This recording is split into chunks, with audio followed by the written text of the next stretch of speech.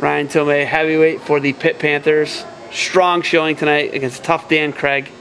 Ryan, what were you trying to do, man? Well, you, you strapped him up with the cradle. You don't look like much, man, but you, you, he's bigger, he's taller. Yeah. What were you trying to do tonight, man? Uh, I wanted to. I wanted to beat him pretty good. I wanted to pin him. I was really trying to push the pace. You know, first period I really didn't get a takedown, a score what I wanted, but I pushed the pace. I got him for stalling. You know, I got him to get a little uh, tired, I think, and I just. I mean, I've been working on the cradle pretty hard. I, I just. I keep trying to do with everyone. Tires them out. You know, it gets them worn down, and it worked. I just strapped it up and put him over to his back, and got the max.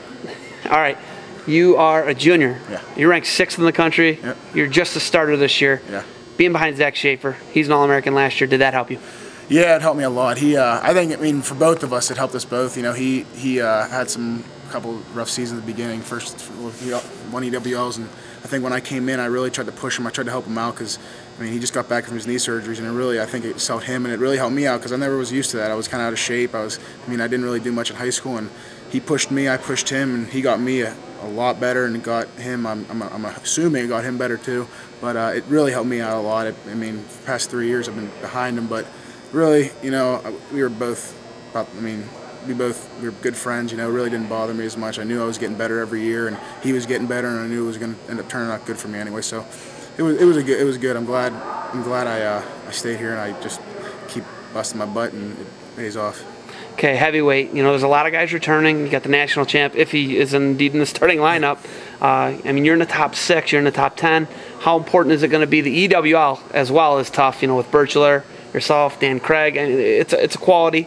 But you know, what's it going to take for you to get on the podium? Okay, and uh, you're not. You're, you're kind of like uh, the same body type and size as like I'd say like Zabriskie and Dudziak, but you know, what, what's it going to take this year to, to get on the podium at heavyweight? I think for me, you know, I'm, I'm strong, I'm big, I'm pretty, I'm, you know, I'm trying to use my athleticism as much, but I think for me, the best thing is to keep my cardio up. I want to keep pushing the guys. I want to try to break them. I'm going to try to just keep working them and try to just, just wrestle hard. You know, that's, I think that for me, I'm to just keep trying to get in better shape, you know, just, I mean, that's pretty much it. My wrestling, I want I obviously got to work on some technique stuff, you know, keep watching film, but I think for me, I'm, I'm just going to try to get my cardio up, try to get in the best shape as possible, wear these guys out because you know heavyweight. Obviously, the top guys are in good shape, you know, but I want to be in better shape. I want to. I just want to be. I don't want to be tired after the match, but I want to be able to break them and be able to be able to push them as much as possible. All right, home dual meets are pretty special here at uh, Fitzgerald. You guys have a crazy, rowdy crowd. Does Yeah. that does that feed you when they're when they're pounding? They're saying, you know, they're- doing all the Pittsburgh chants, Yeah. everything like that. Does that feed you?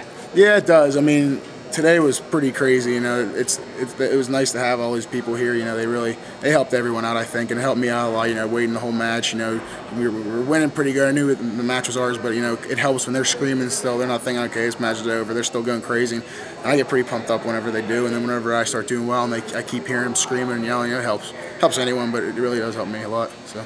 All right. Anything else you want people to know about what's going on here at Pitt? No, I mean we, we really changed our program up a lot this year. We got Matt Coker coming in as assistant. He really was pushing us pretty hard. You know, nothing. You know, these last couple of years were, were a little easier. We all thought, and whenever Matt got here and Coach Peters and Coach Stottlemyer, they all came together and they decided we need to start pushing ourselves. We want to be good, and it's. I think it's showing. I mean, we're 10 1 1 right now. You know, we, we're doing well. We're wrestling hard. Our guys are all pretty tough. They're wrestling hard, and we're doing a, a really good job. I think. I think we have a good chance of winning WLs this year. All right, Ryan. Thanks for the time, and uh, keep it up, brother. All right, thanks.